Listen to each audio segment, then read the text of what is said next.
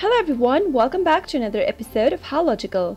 In today's video, I'm going to help you learn how to delete your MiFit account. In order to do so, keep watching the video till the end without skipping and don't forget to subscribe to our channel by hitting the subscribe button. Press the bell icon so that YouTube will notify you whenever we post a new video. Now let's begin. In order to delete MiFit account, go and tap open your MiFit application from the app drawer. Once you tap open the application, make sure you're signed into your account. From the home screen of MiFit, tap on the profile icon at the bottom right corner. From your profile page, tap on Settings. Under Settings, tap on Account and Security at the top. At the bottom of the page, you'll be able to see No longer wish to use Delete Account button. Tap on Delete Account and you'll be able to select one of the operations that you want. You can either clear data, delete your account, revoke authorization, or export your data. From these options displayed, tap on Delete Account in order to delete your account. It says that once the account is deleted, it can't be restored. Tap on OK to continue. Now, you'll need to sign into your MiFit account you want to delete the data from.